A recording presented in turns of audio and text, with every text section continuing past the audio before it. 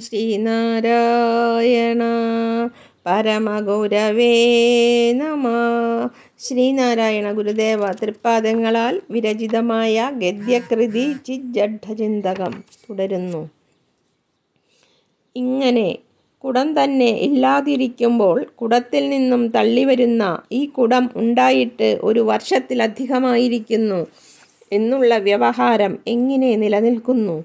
അതല്ല ഇന്നപ്പോൾ നിർമ്മിതമായ ഇന്ന ഇന്ന ലക്ഷണങ്ങളോട് കൂടിയിരിക്കുന്ന ഒരു കുടം ഇന്ന ദിക്കിലിരിക്കുന്നു എന്നിങ്ങനെ നാം ഒരു ആപ്തനിൽ നിന്നു ഗ്രഹിച്ചുകൊണ്ട് വന്ന് ഇതാ ഇപ്പോൾ ആ അടയാളങ്ങളോട് കൂടിയ ഈ കുടത്തെ കാണുന്നു. അതുകൊണ്ടാണ് അന്നു തൊട്ട് ഇന്നു വരെയുള്ള അളവെടുത്ത് നോക്കിയതിൽ ഇപ്പോൾ ഈ കുടം ഉണ്ടായിട്ട് ഒരു സംവത്സരത്തിലധികമായിരിക്കുന്നു എന്ന് പറയുന്നത്. എങ്കിൽ അതും ഈ കുടത്തിൽ നിന്ന് ഇപ്പോൾ തള്ളി വരുന്നതല്ലാതെ മേൽപ്രകാരം ഇതിനു മുമ്പിൽ ഇല്ലായിരുന്നു എന്നു തന്നെ പറയണം.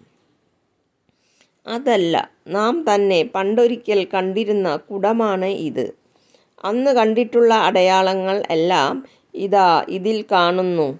ആ കുടം തന്നെ ഈ കുടം. അതുകൊണ്ടാണ് ഈ കുടം ഉണ്ടായിട്ടിപ്പോൾ ഒരു സംവത്സരത്തിലധികമായിരിക്കുന്നു എന്ന് പറയുന്നത്. എങ്കിൽ ഇപ്പോൾ നമ്മോടുകൂടിയിരിക്കുന്ന ഈ കുടം അപ്പോൾ ഇതുപോലെ നമ്മോടുകൂടി ഇരുന്നിരുന്നു എന്നും ഇടയിൽ നശിച്ച് ആ ശുദ്ധശൂന്യത്തിൽ നിന്നും ഇങ്ങനെ നമ്മോടുകൂടി പൊങ്ങിയിരിക്കുന്നു എന്നും വ്യവഹാരം നേരിടുന്നു. അപ്പോൾ നാം ഇല്ലാതിരുന്ന ശൂന്യത്തിന്റെ അപ്പുറമുള്ള കഥയെ നാം ഇവിടെ പ്രസംഗിക്കുന്നത് ഭ്രമം കൊണ്ട് തന്നെ എന്ന് വരുന്നു.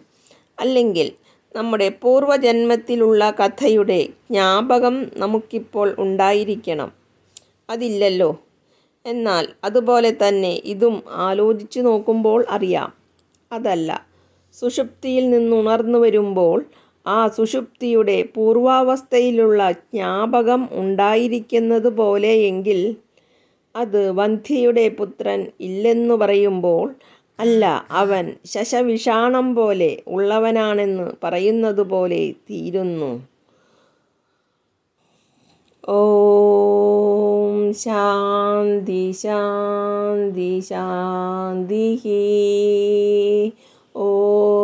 തത് സത് ശ്രീ നാരായണ ഗുരു അർപ്പണമസ്തു. ഓം